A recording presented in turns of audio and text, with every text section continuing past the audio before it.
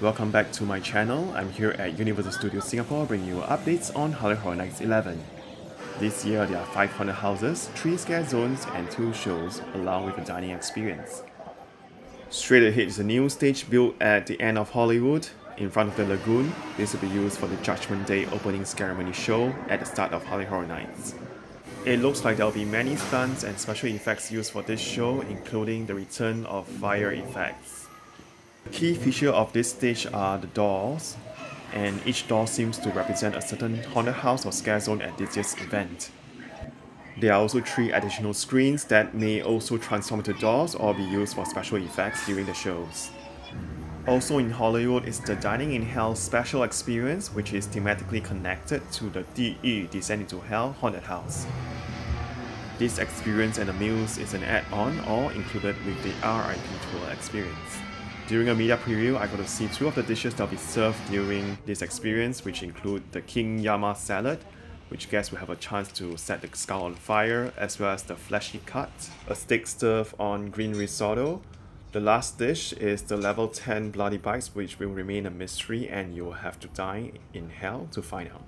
Here are the other food and snacks that will be available during Halloween Horror Nights all around the parks, carts, and restaurants.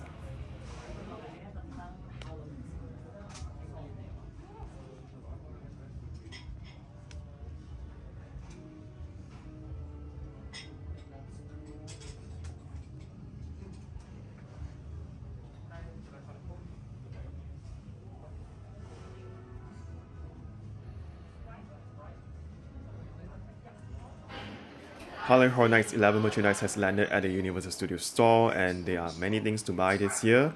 First we have the lanyards, there are two designs.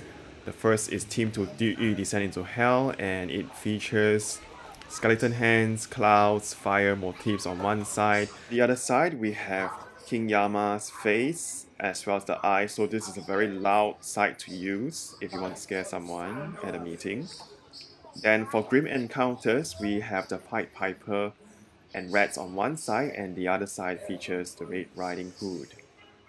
The same illustrations can be found on button pin sets, a set of three for each haunted house. There's also a tote bag this year featuring the illustration from Grimm Encounters. On the reverse side is the Halloween Horror Nights logo. T-shirts are also back and there are two designs available, although only one was on sale when I was at the park. So this one features the Pied Piper on the front, and the back features the same illustration as the tote bag. Now let's head out and see haunted houses and scare zones. So for Diyu Descent into Hell, it's at Hollywood. The queue will lead you into Soundstage 28 where your journey to hell begins. Right beside this entrance is the Hacker Scare Zone in New York, so far the setup has been quite minimal with just 3 sets on the street itself and some of them have screens which will be displaying video games presumably. There is also a larger set nearer to the stage which looks like a game console has uh, transformed a game environment into the real world. Over at the New York Library, this is where the Hacker Game Over show will be taking place, so don't miss that. And to the right of the stage is Another haunted house entrance, this is Netflix's All of Us Are Dead. The park has built a reproduction of the gates to Hyosan High School. So this is the first IP house in Singapore that was announced way back in July. I'm sure many of you are very excited to experience the zombie outbreak and walk through various scenes inspired by the hit horror series. The next scare zone, Dead Man's Wharf, takes place in the New York Harbor, but you have to get there via the side path from Sci-Fi City. There's only one entrance and it's likely that you can't stop walking while you're inside, so it might feel like a haunted house. Some of the past schedules were set up similarly such as the Pestilence in 2011 and Death Alley in HHN 2. The park has sealed up the entrance to this schedule so I can't walk in further anymore but you can see some of the details of the entrance archway as well as the initial areas.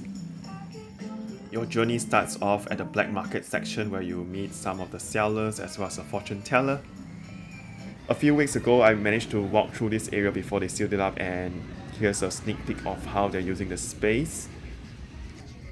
Like past scare zones done in this area, it feels more like an outdoor haunted houses with these winding walkways.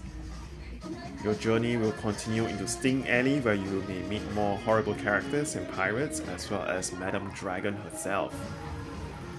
Let's head back to Sci-Fi City for the next haunted house and that is Grimm Encounters.